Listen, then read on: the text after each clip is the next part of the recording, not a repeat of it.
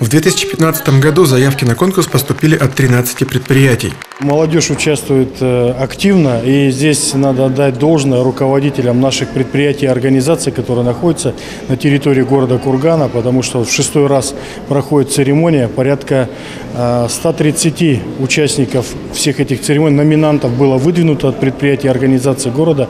И мы рады, что в этом году к промышленным предприятиям присоединились наши сельхозпредприятия, присоединились э, те, кто представляет энергетический комплекс, представляет различные организации. Мы считаем, что у этого конкурса достаточно большое будущее.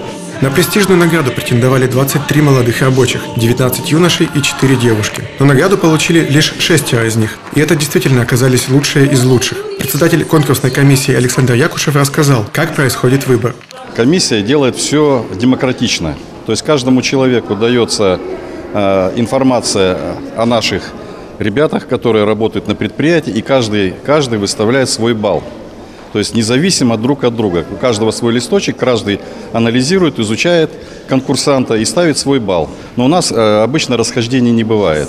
В течение часа номинанты переживали в ожидании результатов. За это время на сцене их чествовали первые лица городской администрации и городской думы, а также творческие коллективы города, в том числе созданные на предприятиях. Торжественная церемония была выдержана в стилистике кинематографа, который является символом этого года. Номинанты и зрители увидели множество кадров из советской хроники и старых фильмов, ведь именно в то время как никогда ценился человек труда. И, наконец, были объявлены лучшие из лучших. Стоит отметить, что некоторые из них получают эту премию не впервой.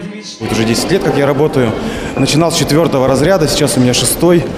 Учусь заочно в институте и надеюсь, что скоро буду инженером. А Я хочу работать именно на этом предприятии, только уже на должности инженера. Но есть и те, кто участвовал впервые. И, конечно, их волнение было более заметным. Главное правильно выполнять свою работу. Качественно выполнять ее. Пришел э, на предприятие в 2010 году